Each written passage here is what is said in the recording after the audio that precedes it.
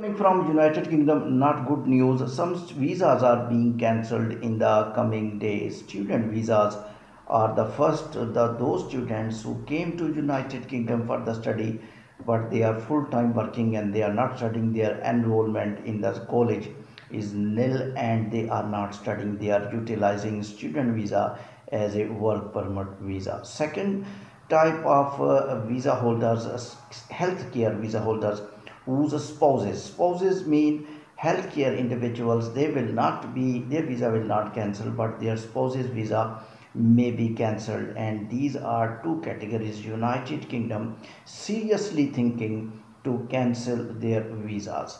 There are a lot of troubles going on in the united kingdom these days. Pressure from the united kingdom government and they committed we will not allow illegal people to stay in united kingdom number 1 and the persons who came to united kingdom by fake entry or even by legal entry like student visa but they are not following rules and regulations.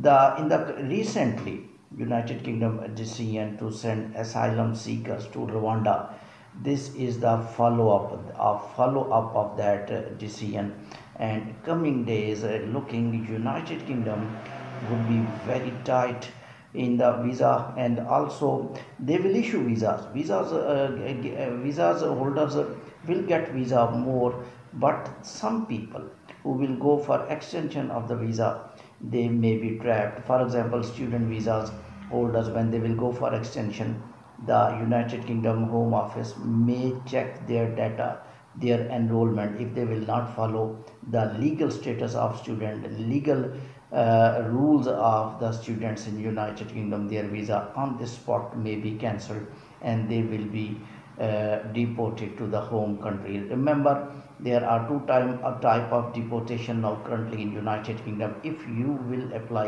asylum then you have to go to rwanda. Their first flight is ready. The news are very worse regarding that. If you are planning if you came to united kingdom by agents by any illegal way by sea by any way you have uh, no chance to survive in united kingdom and united kingdom has planned perfectly to send them to asylum. Now the lawyers of united kingdom are very uh, active and they are telling that we will do this thing we will do that thing.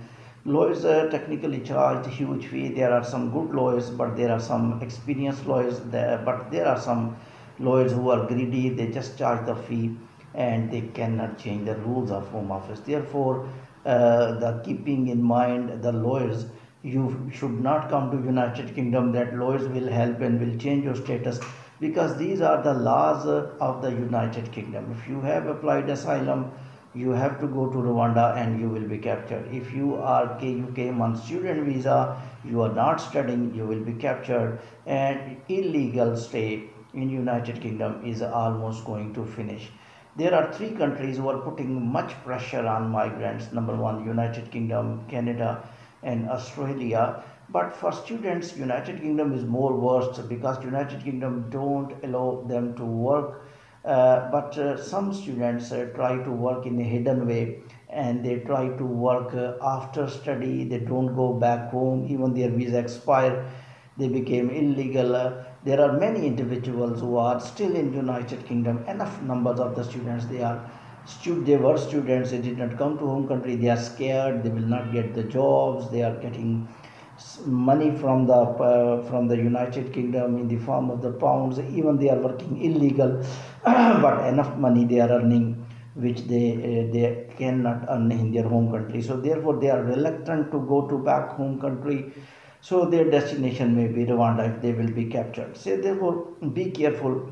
First of all, when you are applying for student visa, you must be very uh, attentive that you are not going to uh, work, you are not going for work. Normally, 90% students who go to United Kingdom from Asian countries like India, Pakistan, and Sri Lanka, Nepal, Bangladesh, they think only that they will work there and they find student visa quite easier than any other visa because work permit visa took long time student visa only one month two month DC and visitor visa you can't work student visa little a bit work is allowed so this is the long term visa they can stay in United Kingdom and they try to get the permanent residence. I am clearly telling you that as a consultant, I am telling you, as an advisor telling you, as your friend telling you, as your brother telling you. Please listen. As a student visa holder, you are not able to get citizenship of United Kingdom. If you will ask in Canada, yes, in Canada you can go and you can get the permanent residency. But in the uh, in Australia, yes, there is chance. Of course, there are limitization. This service of giving bridging visa, work permit visa, switching towards the permanent residence in Australia and Canada. United Kingdom has no such plan.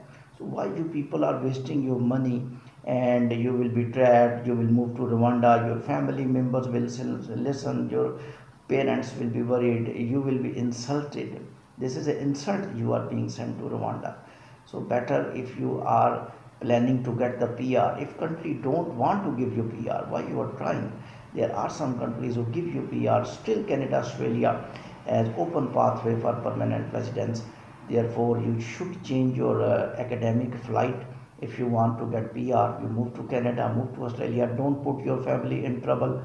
You are not able to pay fee in United Kingdom. Work is not allowed. The working time is very less and you are not able to bring your spouse you are not bring to similarly healthcare professionals healthcare professionals if you move to canada as a healthcare professional my point is only one. You do same work as your work permit is. If you will change your work permit and you will do some other works you will be trapped. Anytime anytime. Some people don't think and they think no problem that this thing will not happen. I am telling you when you will go for extension of the visa this time there will be a lot of restrictions.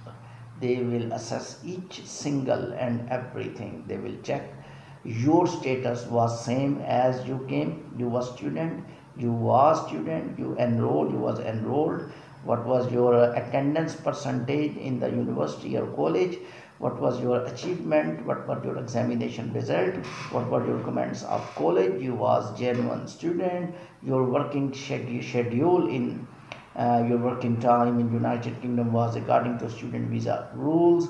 When they will be satisfied when they will extend your visa. Otherwise they will cancel your visa that's the point i am telling you similarly if you are healthcare professionals when you will go for extension of the visa they will always think your spouse is there or not. If you have spouse, your spouse visa will be cancelled.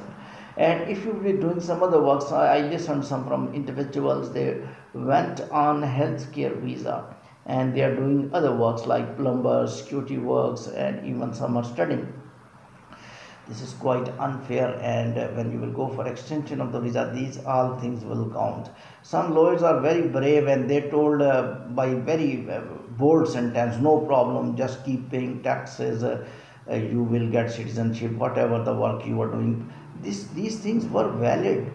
I'm not telling they are wrong. These things were valid but some days back some years back in the era of high skilled migration program and when you was having different jobs no problem all things were running. But now home office department has decided that we will check your status is according to your work or not.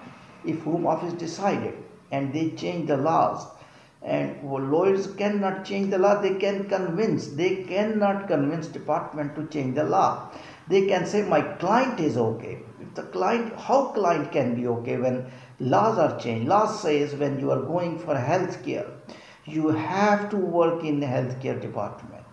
Law says you are going for study, you have to study and you have to work only 14 to 20 hours, whatever the Canadian UK uh, student rules say. If you will not follow rules and you will work full time, you will leave study and when you will go, you will hire your lawyer and your lawyer say, my client is right. My client came on student visa and my client worked full time my client is poor and my client need money. He has to send a lot of money to the parents in the home country. They belong to developing country. My client has complete right to work. This is not the law changing uh, uh, individuals lawyers. They follow in by remaining in domain of lawyers. They will charge your fee and when you will be refused they will say we tried our best there will be no any type of spot in their uh, in, in, in their company or in their name because they will earn money. How many cases they win, how many cases they lose. Sometimes they 100% think they will lose, but still they fight to charge the fee because they knew we are going against the UK rules and they will say some sentences and your home office justified that your client is not following the rules of United Kingdom. Therefore, be careful and keep watching World Immigration News by Irfan. Thank you very much.